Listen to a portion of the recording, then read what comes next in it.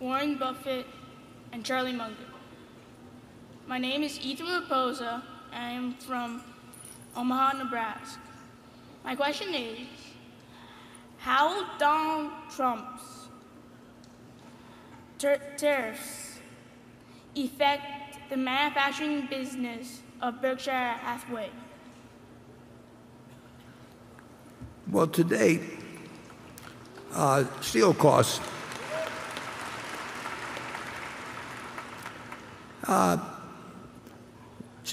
we've seen, a, we've seen steel costs increase somewhat, but as I said earlier, I don't think the United States or China, there'll be some jockeying back and forth, and there'll be something that leaves some people unhappy. And, but I don't think, uh, I don't think either country uh, will dig themselves into something that precipitates and continues any kind of real trade war in this country. We, we've had that in the past a few times, and I think we've, we've learned a general lesson on it.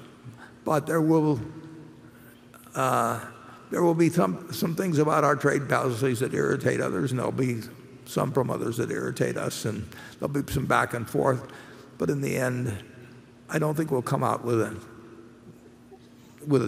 a, terrible answer on it. Uh, uh, uh, Charlie, on, I'll let you. Well, steel has it reached the conditions in steel were almost unbelievably adverse to the American steel industry. You know, even Donald Trump can be right on some of this stuff. The,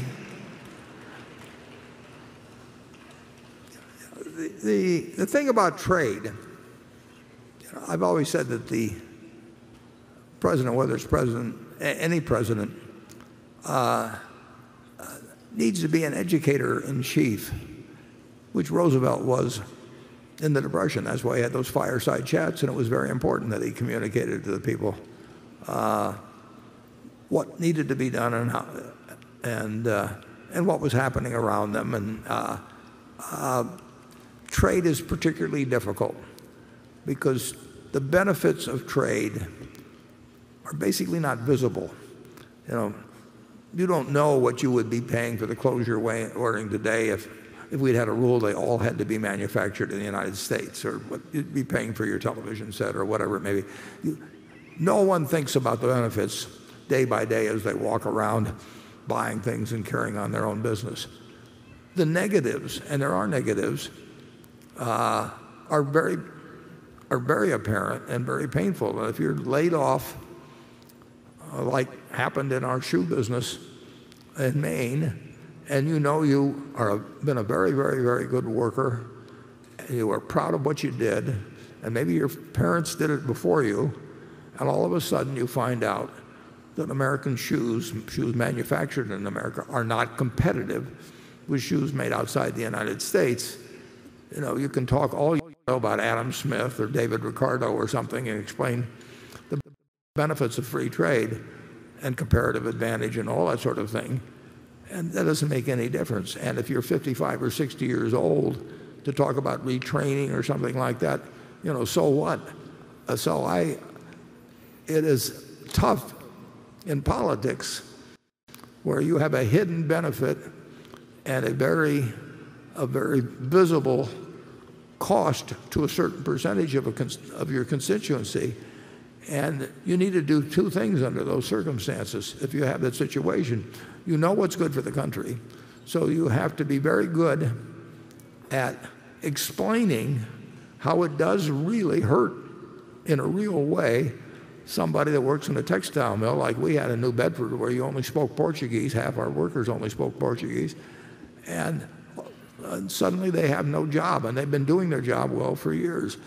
You've got to do two things. You, can, you, have, to, you have to understand that, that that's the price individuals pay for what's good for, for the collective good.